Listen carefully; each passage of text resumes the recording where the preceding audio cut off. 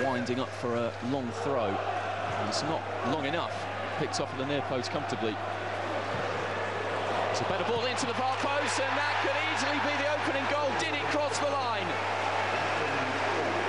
The assistant on the near side, Scott Ledger, kept his flag down. Wayne Hennessey just managed to fall on it right on the line. Hanley had Doyle at his back. Had a knockdown. Volley from O'Hara with his less favoured right. Wasn't well struck. Ball over the top. Roberts almost burst onto it and bundles his way through a couple of challenges. Finds Formica. Driven a little wide. Touch from the goalkeeper, but that one has crossed the line. Blackburn take the lead. Mauro Formica with his first goal on his debut for the club signed in the January transfer window last season. Didn't play due to injury. Great work from Jason Roberts, tremendous persistence, and he supplied the finish when possibly he didn't look favourite. Stearman. Jarvis in acres of space. Looks for Fletcher, and that's 1-1. He scored on opening day last season on debut. He's done it again this time around, and Wolves back on level terms very, very quickly indeed. But you've got to wonder, where were the defenders? That's poor defending. Let's put this ball in here. The defence are too too deep for one thing. Nobody's trapped the runner.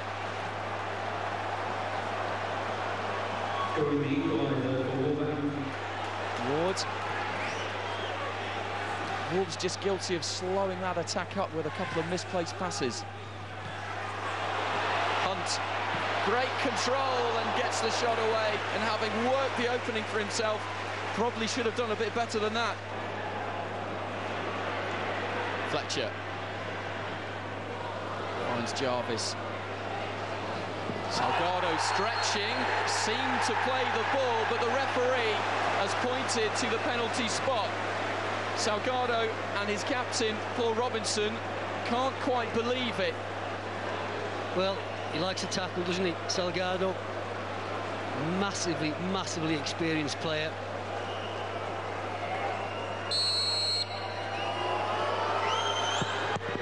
And Robinson makes a comfortable save. Danger not clear though.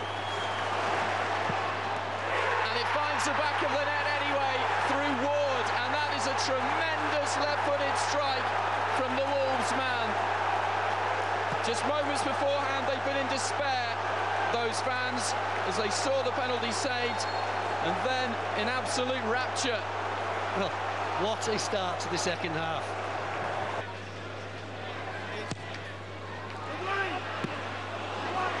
Should be a chance now, and just turned round the post by Jason Roberts and Nzonzi. Well, sorry, I said there'd be more chances.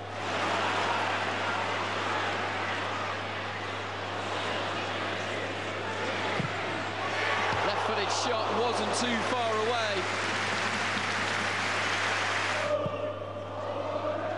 Roberts was the target. Just a layoff was a good one. Goodwillie! His first chance. It's not a bad effort, is it?